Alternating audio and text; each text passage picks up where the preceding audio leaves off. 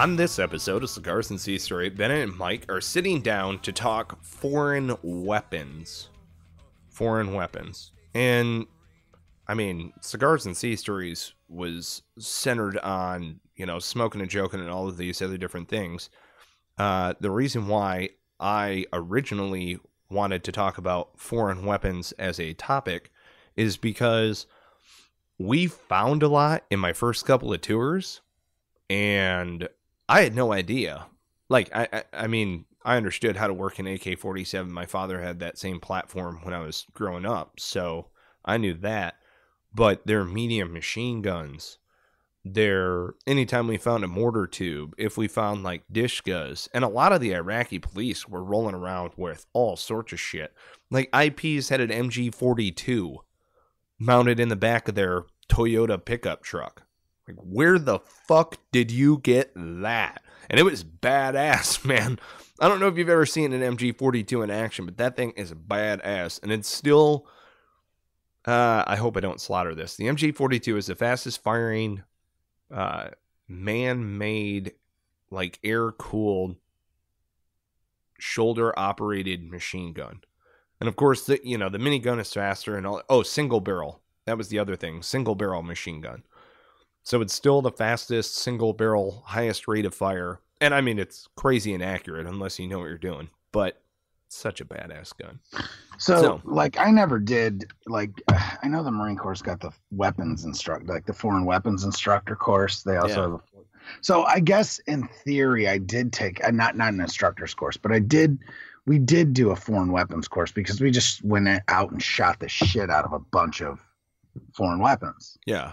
Like Um, AKs I think that and I think that definitely became yeah, definitely became more um, uh, prevalent as we were in active conflict. You know, from 2001 on. Um, but you know, like we went out, I shot like, you know, I mean, give me a break, like AKs, you know, and and other variants, Chinese, Romanian, you know, all the different variants of the AK, the FNFAL, the uh what else? J the G3, G36. uh the uh, uh what the hell is it? It's a light machine gun. RPK, MP5. uh, um MP5s, the Dragnovs, the Dragnov sniper rifle got to shoot Yep. that. and the Tribute. Yeah. Um the PKM uh machine gun Yeah, Which has And- multiple variants. and then they also uh, we didn't really get to shoot it but some of the guys they they brought they had some mortarmen there that were that showed us the like uh a couple different chinese mortar systems Yeah, the and then a chinese uh heavy machine gun and i don't remember the It was the Dishka. yeah the dishka yeah Yep. that's it See, Yeah, it's man. funny because those are all. So those are the most common enemy threat weapons that you find on the battlefield. So a foreign weapons instructor would choose that set. I mean, the we shot majority of the same stuff when I was going through the instructor course. Right well it's Um, because they're still the and isn't that crazy even 20 well not 20 so let's say 15 years later that's still the one that that's what the the enemy's arsenal is Oh yeah. Well, and the, the same, AK the same weapons the AK forty seven is not going to go away for a no while. ever pretty much ever So yeah, Yeah. Well, and that's there's 30 million of them in circulation Right. plus. You know, there's there's no way to get an accurate count of that because so many other threat countries produce their own version of it. There are multiple mainstay manufacturers: China, Russia, Korea, um, being the predominant ones. Of course, you get AK 47 center manufactured throughout Europe, throughout the Middle East, a variety of different places, but those are the mainstay manufacturers that have some sort of stamp on them. And primarily that's what you're going to find on enemy combatants. You know, and It was funny because you brought up the PKM. There are so many different variants of the PKM. It's insane. Yeah, tons. And they load, you know, they load backwards. They're non disintegrating link. They have multiple different types of link. They have cloth belt, and then they have the uh I call it like mail, like chainmail link, but it's it's non disintegrating link. So you take a cartridge, which a PKM medium machine gun shoots 7.62 by 5.4 rimmed, the same round that a Mosin Nagant shoots, Mhm. which is just a devastating round. It is. And uh I have a shit ton of it. right, right. Just saying. And uh what you do, so there's two different ways that you can load a non-disintegrating belt. You can shove the round, so you push it up through to the bottleneck, and then you shove it in there, and you get it as tight as tight can be, and press all of the rounds down. It's time consuming. Or they invented this crank machine. There's also automated machines that do it. Don't get me wrong, in big factories, but if Mhm. you're doing it on the battlefield, like in a fighting position, they have a crank machine where you take all of the ammunition, and it doesn't matter whether the tips are forward, backward, whatever. Um, supposedly, uh, but you put them all in there. So you know how it is. 760 by 54 rim comes in that like butcher paper. It's not really wax paper Yep. It's like a butcher. Yeah. and and you tear that all apart and all of the rounds are independent and you drop them into the top of this feed funnel and crank the thing around and these little mechanical arms underneath take the cartridge spin it the correct way if need be and then shove it into the non-disintegrating link and out you know in goes an empty belt out comes a fully loaded belt and then each one of those belt are ran up to the front line or what have you and so you've Mhm. got to learn those different ways they also the charging handles are different. There is a variant of the PKM where the charging handle is actually the pistol grip. yeah. It's um. Oh shit. I can't remember Yeah, the I can't remember. I can't remember it either, but I know what you're talking about. It is it's really cool. And when you see it you're, you know, the lack of a charging handle, it, it, it's pretty obvious. You're just like, "Oh shit, you know, what the hell is going on with this thing?" I don't see the operating rod. There's, you know, everything else that you would normally see on the exterior of a machine gun is not there. Mhm. and uh, you you you know of course keep your finger straight off the trigger you've got the thing on uh, or off safe so the safety is flipped forward if you've ever operated a pkm on the left side of the the pistol grip there's a forward latch that basically rotates 180 degrees forward and you flip that forward you're supposed to use your non-dominant hand you flip it forward and then reach up underneath grab where you normally do cheese stock weld and then pull the trigger and hold it, right? Die, motherfucker, die. Die, motherfucker, die. But anyway, on those variants, it's it makes sense because it removes one of those steps. You get in into a good, solid, stable position, forward, backward, press that trigger. So, or excuse me, yeah, forward, backward, press that trigger because the safety's off. yeah. So I mean, it's gangster fast. But inside Right. of there, the operating components. Well, you've got two bolts essentially that are working against one another, and they're riding across the top of one another. And the feed pawls. See, I'm a nerd for gun, so so the feed pawls inside of all of those variants are different than our feed pawls because you could fire. You could you could probably put a PKM medium machine gun in a swamp get right tightened down on the thing, good stock weld, and only the muzzle is outside of that swamp. You and everything else are submerged. Chamber around, and you would probably be able to fire that open bolt weapon system underwater. Right. It's, yeah. You know, and the same thing, like the AK 47, it was purposely built with gap space so that it could do things like that. hmm So, well, and anything that Kalashnikov, there's a conspiracy theory that Kalashnikov did not create all of the Kalashnikov variants that we know and love. Right. But if you did Well, you I mean, ever, technically, like the Israelis have a variant. You know what I mean? So well, they do. Fight. right. Yeah, but okay. All right, I got to get a little nerd on this. So, yeah, here we go. Get nerd. right, so Mikhail Get Kalashnikov, on us real quick.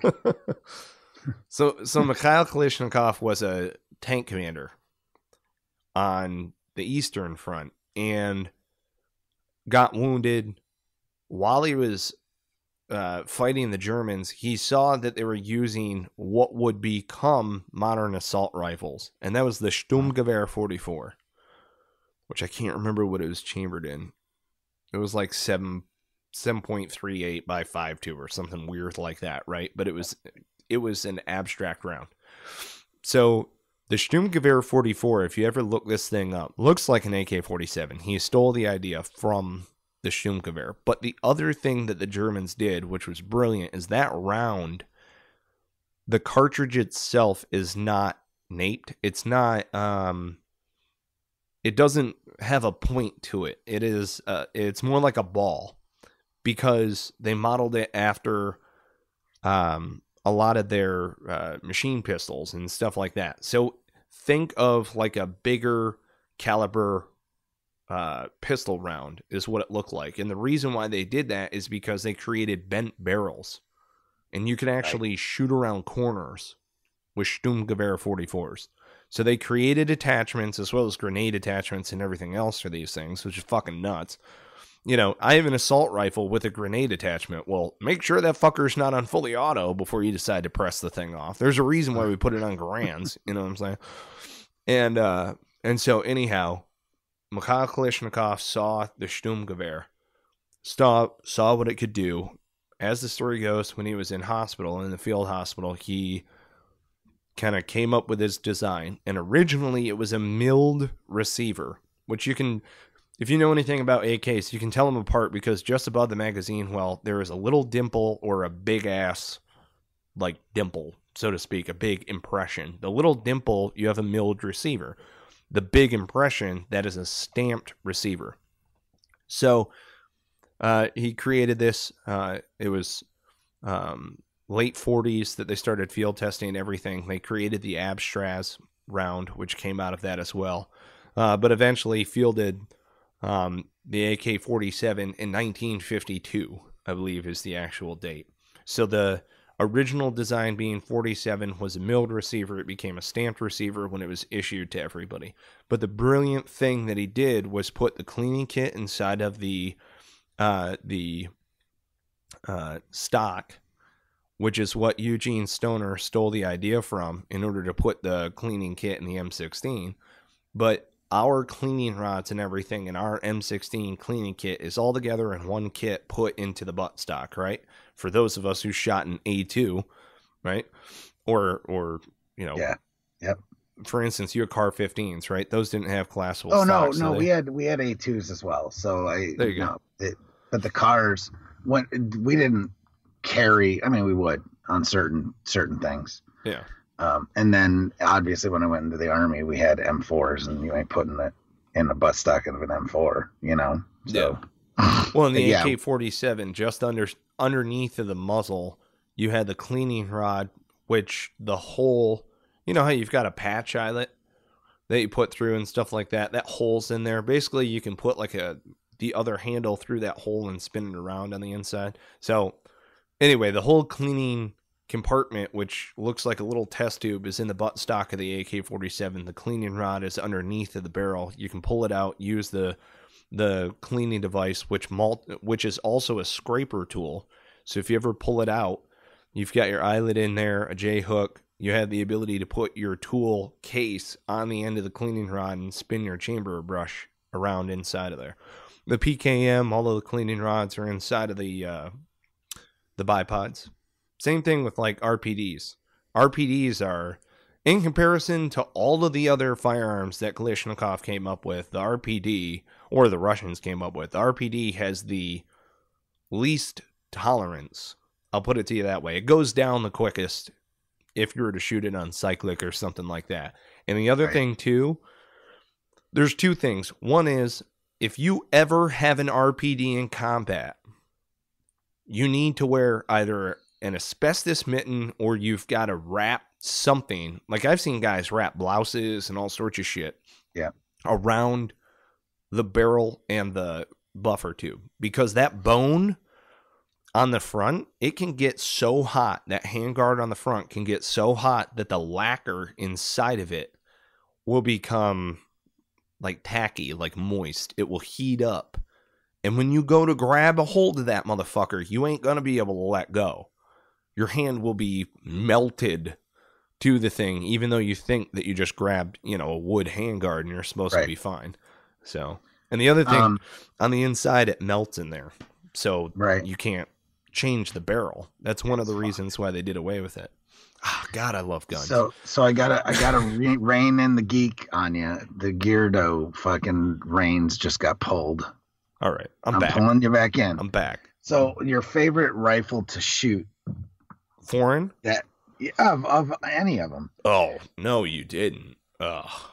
Just That's like it- choosing your it a quick- favorite kid. What was your favorite lay? What are you talking about? Uh, anyway, I'm sorry. What? There's got to be a favorite. My favorite You've got to have a favorite.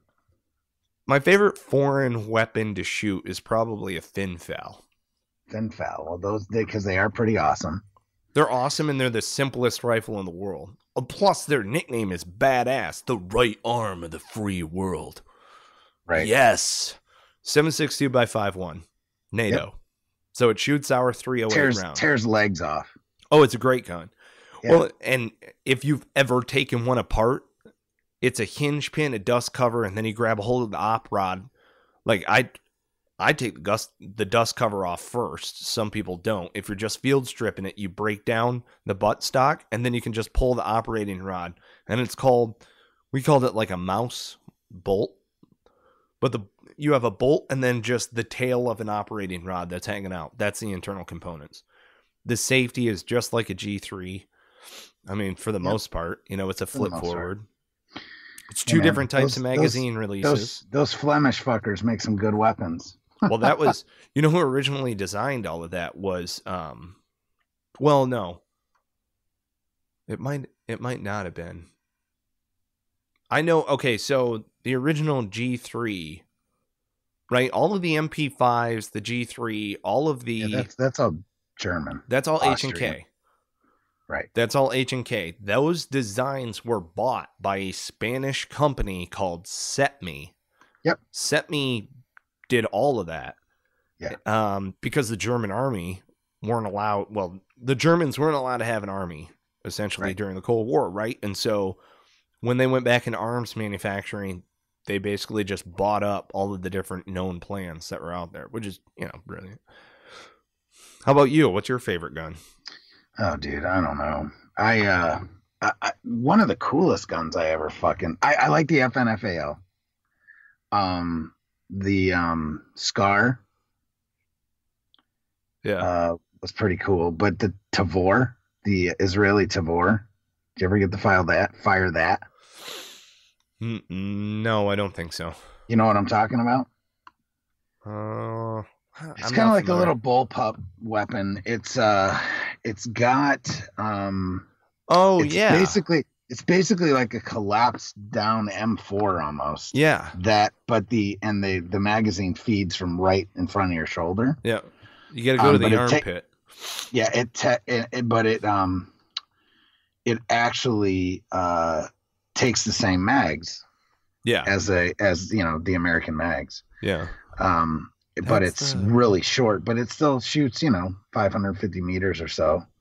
Um, it's still, it's basically just a different type of version. It's compact. It's really good for special ops got forces and stuff. There's actually a bunch of police departments in the U.S. that are starting to buy them. yeah. So Well, yeah, that's if you like look it up, it's pretty cool. But it's really smooth, really easy to take down. It's basically like you took an M4, pushed everything back. You know what I mean? Yeah. And then and then put a, a grip in front of the magazine well instead. Yeah. Um, so it's pretty cool. Well, it's like But the then Mhm. What's so that? that and then I got to um uh yeah, the Colombians use them too, which I saw that in Egypt. So that was kind of cool. But um yeah, man, that was that was a fun weapon to shoot. Um and then the FN Did you ever shoot an SA eighty or an L eighty five? That's similar to what you're talking so. about. They think so. That's what the Brits carry, but our magazines fit. I mean, it's five five six. Yeah, it's all five five six. So it's just kind of cool that you know you could be on the battlefield and grab their freaking shit and use it on your stuff. Right. It's Well, I mean, that's the point. It's kind right? of the whole point with NATO, right? So So yeah, so that that was cool. I gotta- Um, I'm gonna I'm gonna look up the Sturmgewehr. I I have to. It's the STG TAC 44. If you guys are following along at home, but I I've never been a you know I mean I like to shoot weapons and stuff. I just never got into the small arms as much. I was just never really a uh yeah. small arms geek, I guess you could say. Oh, I. now I did all I, I did a lot of my research on you know planes and Yeah. boats and that type of stuff. So Did you ever?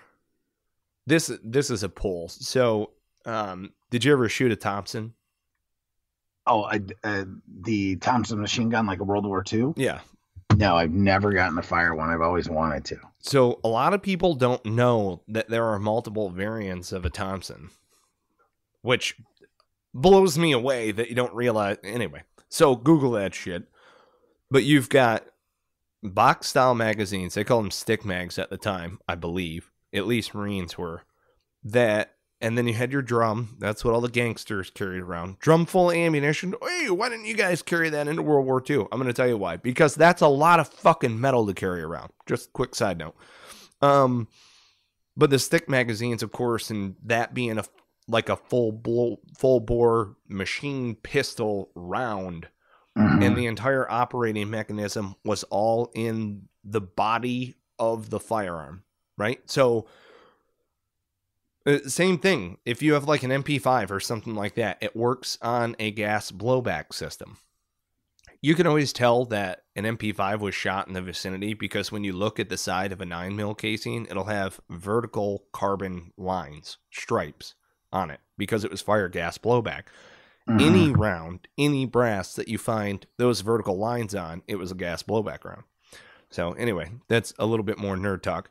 But on some of the variants that Thompson's made, that Thompson made, the charging handle is on the top, and they're all open bolt, I believe. Um, but you have a side charging handle variant, which was an in-service variant, and then you had a top charging handle variant, which doubled as your rear sight aperture. So you would basically like knife hand across the top, lock the bolt to the rear, look through the charging handle, which is the rear horns. You know what I mean? The the snowman or the castle or whatever traditional pistol sight you want to call Right. it. And then you had the Thompson, which had a fixed uh, rear sight aperture with an elongated sight plane. So the Thompson's sight plane for the 45 caliber round that it was shooting was technically too long, given the accuracy of that round over a given yardage. Because I mean, you know, I'm sure that Thompsons were fantastic on Iwo Jima, but I mean, like, I, I'm the guy who would carry a 30. I'm that dude. I'm carrying a Right. 30 all day. You know, the 30 Mhm. carbine, what we were shooting, which not the 30 ST, which was the I think it was the 30 ST, the 30 caliber with the box ammunition and whole nine.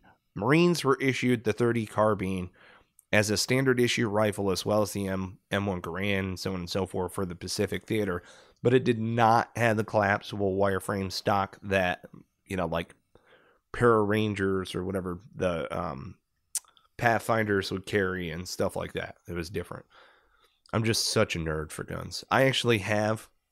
I was over at Thomas Brennan's house and he's got a 30 cal, and I saw the magazine sitting on his kitchen table, and was like, "Is that a 30 caliber carbine magazine?" And he's just, he's like, "Dude." there- There's, you know, there are some people who would know that, and there's just some people who don't. And My lord, I would son. know that. And I'm like, do you have the gun that goes with it? He's like, it's in the shop right now. But That's really funny. Dude, did anyone else carry flamethrowers? yeah, oh yeah, the Same like World War. II?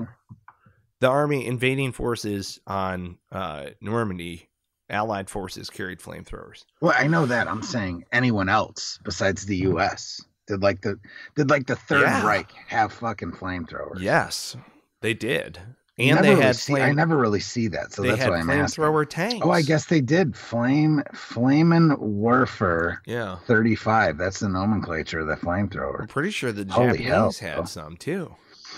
What a fucking sick ass weapon. But but yet a death trap for the freaking Oh, operator. Dude, you hold that trigger down too long. That's when you've got to have that die motherfucker die discipline. Yeah, it's this the trench, you know. Holy shit, bro. Could you imagine though? I mean, you always see it on like the movies where they'll, you know, come through and then the next thing you know, they stick the barrel of one of those into a fucking fighting hole, you know, into Yeah. like a pillbox and just oh, bro, devastating. Yeah. That's but if the, you get shot with one on, you're fucked.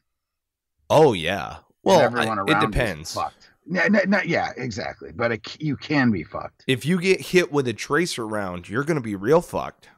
I mean, if you dude. Yeah, man. because you got to remember. I mean, a lot of people are like, "Oh yeah, dude, that's some Hollywood bullshit." Blah blah blah. I'm here to tell you right now, if you shoot 240 link with 240 tracer link, Yeah. you will you will blow up a fucking camp a propane tank. I know that oh for God. a Well, fact. yeah, yeah, yeah. I know that too. And if you Um, ever want or, to, or you could just strap a. Uh, I'm not saying I've actually done this, but it does make fun booming stuff happen. Uh, maybe, um, allegedly, uh, strapping a road flare to a propane tank, lighting the road flare, running away, and then shooting it makes a big boom too. No tracer needed. yes, Uh, Yes. That shit is crazy. Just saying. well, right. And the other thing, Allegedly. allegedly, the other thing, and I highly condone, and I hope that you try this out. Uh, put a propane tank in front of a steel plate Mm. and light that fucker up, and you'll get Mm. enough splash and spark coming off of it to where you'll ignite it. Mm. We did that with the little green propane tanks, the little camp yeah, yeah. ones. Yeah, yeah, the little camp ones. I mean, I've blown up. I've put I mean, like three. dude, a twenty pound, a twenty pound propane tank, yeah. fucking blows up, bro. Oh yes, it does. Like people don't, t- people don't get it. Like that shit. Yeah. right. Wow. Damn. Right. Well, then that is the well. That's what they're using in the movies when you get the Hollywood explosion. Yeah. you know, yeah. Because that's the Mm. other side of side. It's just what a what a horrible IED, yeah. Oh, right? We I've done- been hit. done I've been hit by way. a I'm fuel saying, I- enhanced know- IED before. Yeah. Oh my god. Oh, dude, I have definitely been hit by fuel enhanced IED, and I've definitely seen multiple fuel enhanced IEDs go off. And you're absolutely right. There, the the thing that a lot of folks don't understand is that the fire, yeah, is devastating and can fuck your day up, but also that's not nearly as devastating as putting in multiple rounds of ammunition. You know what I mean? That's the you know, it's really impressive Yeah, and yeah, leaves yeah, a big black right. cloud, but unless you added, you know, a lot of shrapnel to it, it's not going to do anything. You could just wrap it with like nails and Right. Well, that's what those fuckers turn it do. into a giant claymore, basically. That's what they exactly. do. I'm telling you right now. I've seen it before. What they do is they take all of their shrapnel and they throw it in a cesspool. They rub it around in feces and shit and urine Yeah. and all sorts of Right. stuff and and then what they do is they put it on uh they'll they'll put it on blankets, they'll put it on whatever, it doesn't matter and then they take the the propane tank or whatever and they wrap it and tie it around the propane tank so that as that fucker blows big, it's spraying, you know, septic laden shrapnel through the air. I mean, you want to talk about ruining your fucking day. So there were guys, there were guys who lost a foot, and by the time they got home, it was amputated all the way up to the hip because because it was just, you know, that's how the enemy rolls, cocksuckers. Yeah. Motherfucking biological Yeah. warfare. Well, and it's like you know, you mentioned flamethrowers. One of the biggest Tossing, things, tossing cows over the fucking parapets. right? I'm just That's saying. what it reminded me of. Yes. Well, and they would put explosives in dead dogs. Yeah, but it's fucking effective. That's Yeah. the thing. And it's like, you know, you use those kind of tactics, and uh yeah, man. I Yeah. mean, people just don't. Yeah, you don't think about this. If it's oh, oh, we're we're beyond that. Right. No. No, No, No. we're not. Well, No, it's like um, another guy found a uh, another unit found a leg, a severed leg, and I'm pretty sure I shared this before. But the clever fuckers took this guy's pant off. I mean, you could tell that it was premeditated. They like ripped the dude's pant leg off, chopped his leg off below the knee. Put a 155 round in where Yeah, the quadricep would be, and then tied the top of the pant leg, which was the dead giveaway.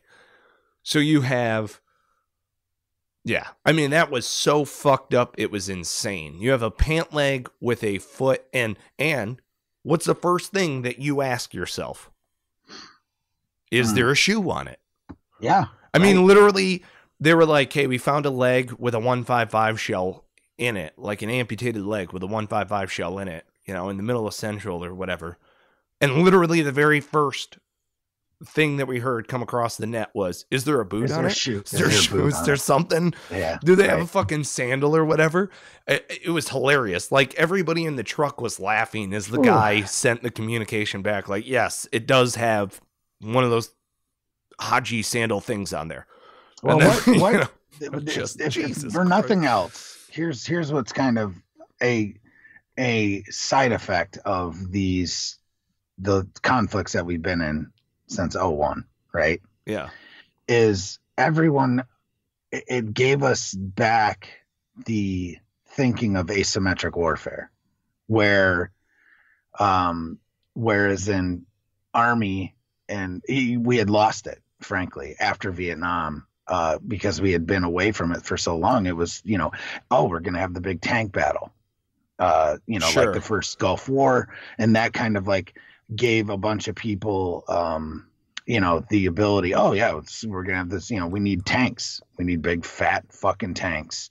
And and other things yeah and and bradleys and everything else to get guys you know what i mean? Mhm. and and and that's part of the reason that frankly george bush didn't want to do what happened is because they knew what would happen. Um getting marred into freaking you know street battles yeah, uh, where your tanks uh, can be effective, but yet they're not. um, so it, it, it's given us back that whole idea that you have to have such a diverse force um, with light and heavy that you can just go in there and kick ass and take names versus um, Yeah. being a one trick pony. And I don't understand. I never, which you know what, that all comes down to money. Um, it comes down to who who wants the money and are they going to push well this is what the new next war is going to be like you know? Oh it's going to be an air war or it's going to be a tank battle or it's going to be whatever. But too often we fall into that trap or politicians do.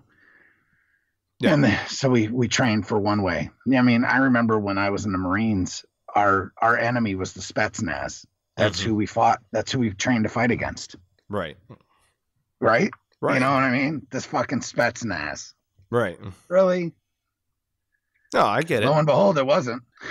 right Just but you knew all the well and that's the difference too is i'm going to tell you right now policy can be policy the united states marine corps and all of the other branches don't give a fuck what your foreign policy is No, what they we don't. do so if we have nato if we have nato allied nations we work with them we learn their weapons we learn their tactics they learn our weapons they learn our tactics we share all allied you know knowledge back and forth in order to potentially create a phalanx on the battlefield. And oh by the way know how to use your shit. My shit ever goes down in the middle of a firefight. Correct. but then we go one step further.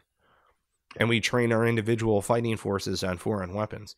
Like i i i gotta i gotta share this little sea story because it the guy's a good enough human being yeah whatever but my my leadership on the last go around as a as an advisor my platoon commander was off his fucking rocker thinking that we were never going to employ foreign weapon systems yeah, he doesn't flat- make any sense. he took foreign weapons knowledge off of our training schedule and Mm. flat out said, if you do this, I'm going to hammer your ass to the wall. So I went behind his back, like any good sergeant would, went to my uh, training cadre at Special Operations Training Group and said, "Here is my certification." I literally went to my uh, to my what's the Marine Online, printed off my fucking certifications, and said, "I am a foreign weapons instructor trainer, as well as I am a formal school instructor." So if you don't want to take responsibility for this, that's fantastic. But I need those weapons to train my guys. And after lights out, I got everybody out of the rack out across the way to the classroom and then went over there and trained the guys after hours on foreign weapons. Thank God I did. You know, and it wasn't it wasn't me. It wasn't like, hey, this is it.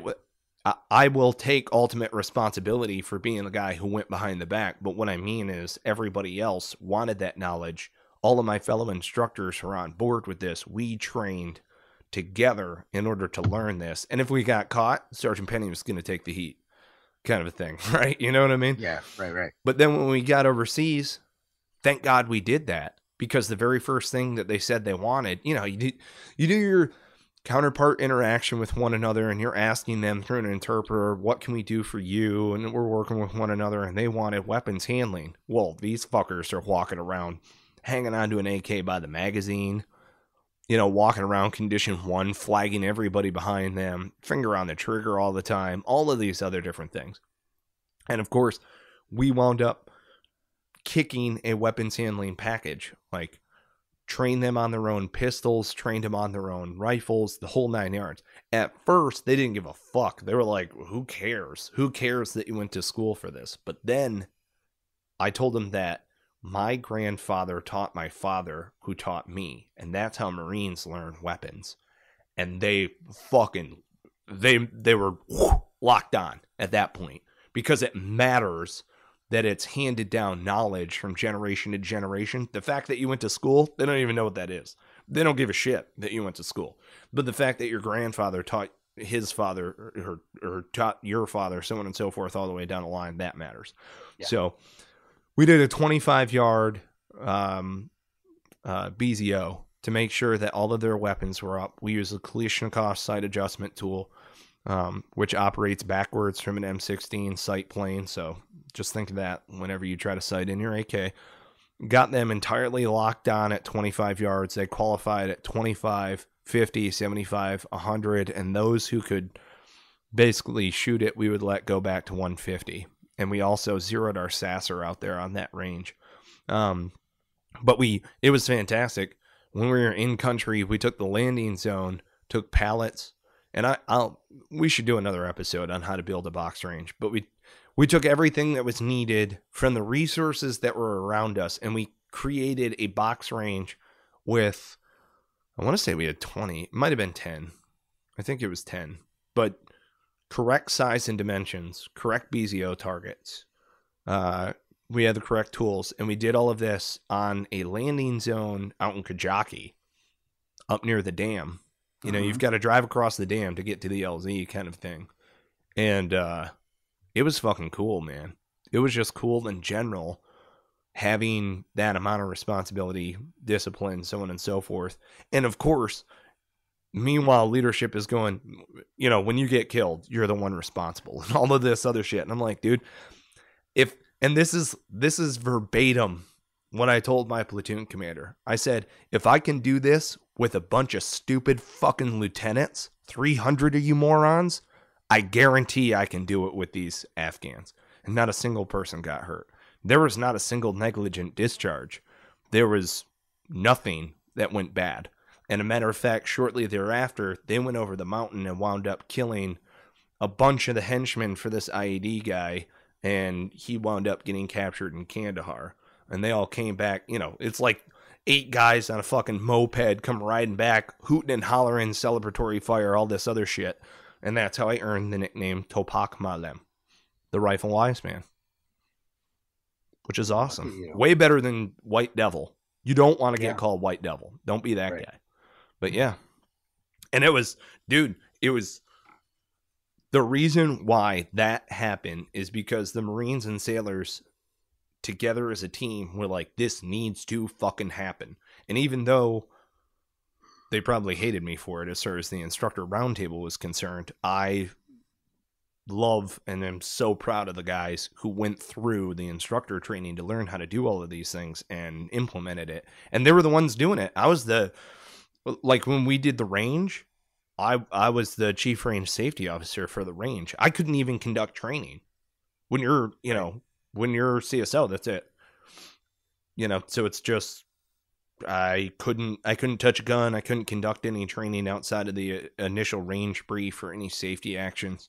I could in between courses of fire, but they had their own coaches at each one of their points, and then they acted as the um, position safety officer, the PSO.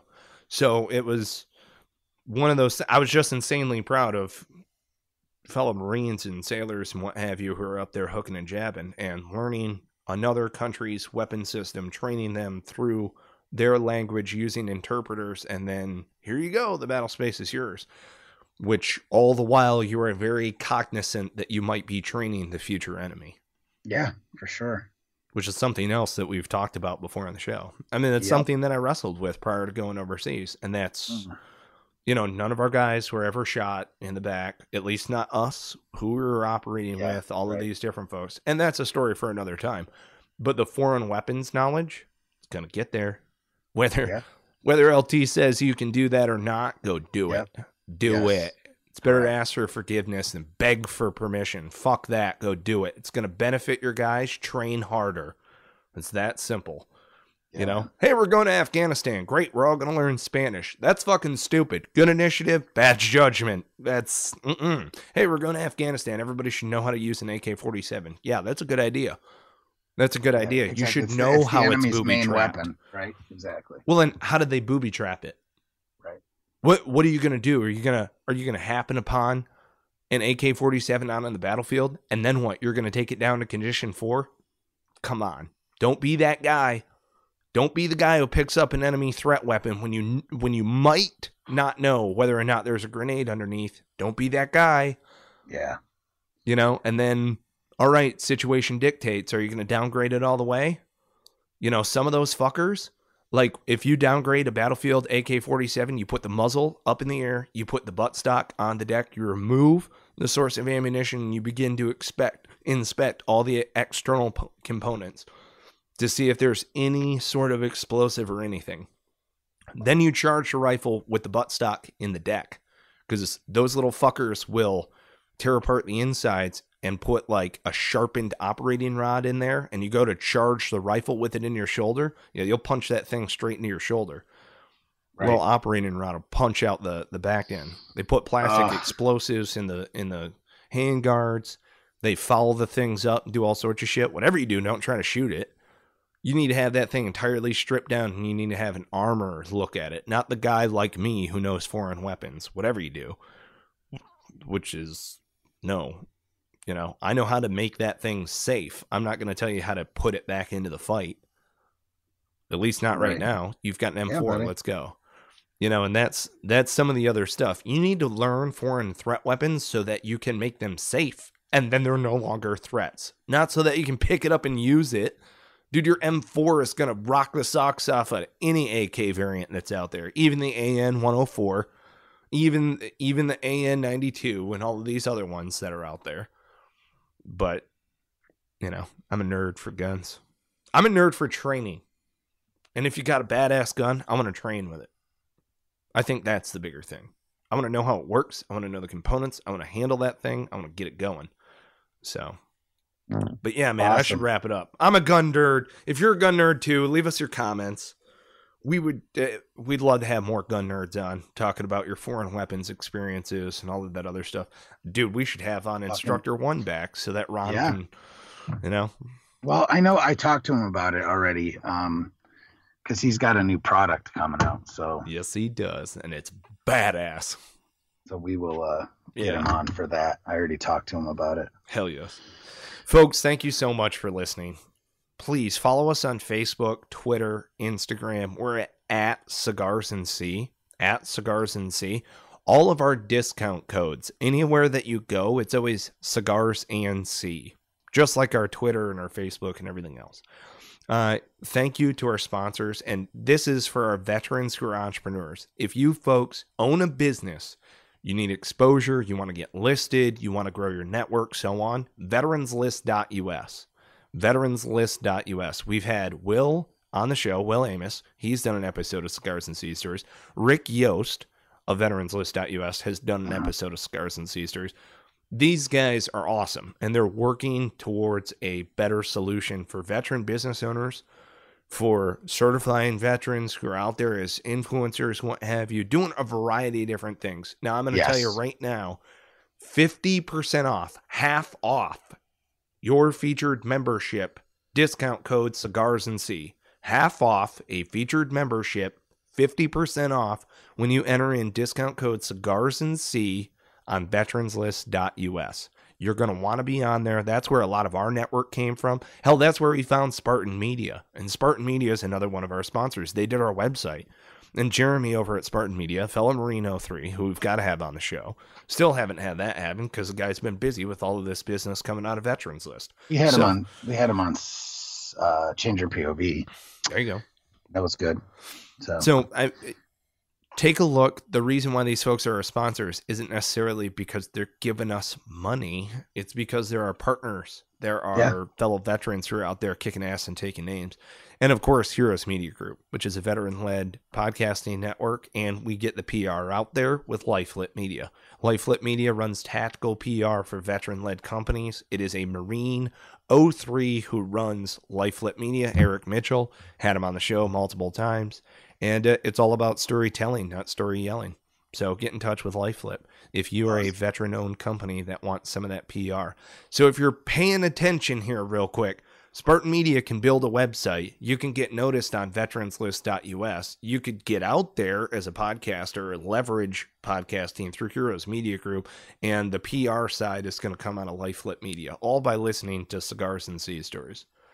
Yeah, it's almost oh. like it's meant to be. and you can download the five paragraph business plan, cigarsandseastories.com forward slash 5P, and get that business up and rolling with all of our folks here. Isn't that great? That's what it's all about. One stop shop.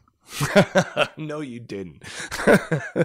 Well, it wasn't intended to be that way. It's I just, know. It's the way that it's worked out. I know. But hey, It's fantastic. get out there and make it happen. Hell yes. Thank you, folks, for listening to another episode of Cigars and Sea Stories. Thank you so much to all of our sponsors. Subscribe, rate, review the podcast time now. And on that note, we cue the music.